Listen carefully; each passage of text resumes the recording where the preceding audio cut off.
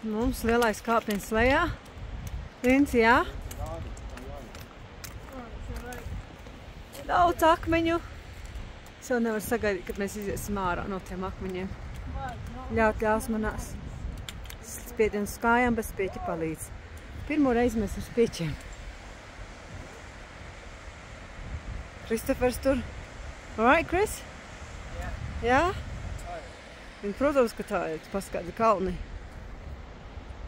Ok, nezinu, cik ilgi jāiet. Easy, easy. Grūti.